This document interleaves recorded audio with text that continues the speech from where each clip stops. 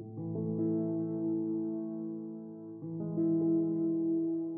I'm Tracy Lambert. I'm the Community Engagement Officer for the Cumbernauld Living Landscape and it's an initiative to enhance, reconnect and restore habitats around Cumbernauld. So part of the project is to work with four high schools in Cumbernauld and each of these high schools has um, a green space site adjacent to them uh, within about 5-10 minute walking distance.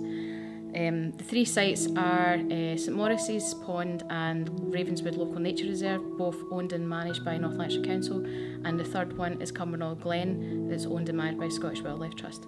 We wanted to bring something to the community with this project as well, so by working with the students and Impact Arts, we're delivering a Living Windows project to install an artwork on each of these three sites, and the teenagers have got into a, like a steering group to bring all these ideas together and make it something that the community is buying into.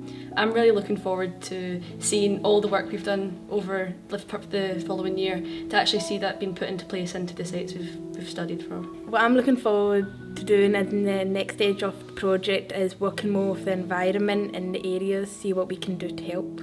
I'm really excited to do the celebrations evening that's going to be happening so we can show off our work and just basically show friends and family what we've done. We moved out to St Maurice's Pond and we walked around and highlighted the dangers. We also done photography and took, um, took photographs of the wildlife. Well, I didn't know what I wanted to do until I started getting involved with Cumbernauld Living Landscapes. I knew I wanted to do something with wildlife and stuff, but I didn't know that there was so much opportunity for me to go into my work experience as well with them, so it really helped me.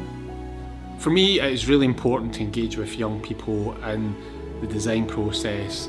Cumbernauld has some really interesting public artwork, but as I have learned from working with the young people, some of that hasn't been involved with the community. So for me, I think this is amazing that they're having the opportunity to create the designs and have a real say on what goes on in their community.